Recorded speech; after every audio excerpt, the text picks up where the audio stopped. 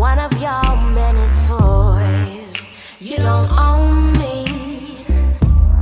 Don't say I can't go with other boys.